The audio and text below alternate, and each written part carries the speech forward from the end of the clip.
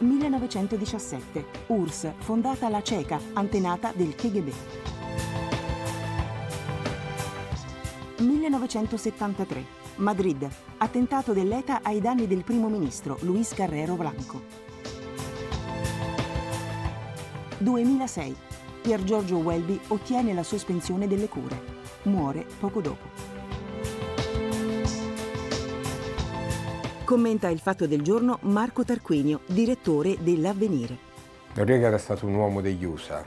Lo usarono, lo abbandonarono, invasero quel paese per portarlo alla libertà, ma sappiamo come va a finire.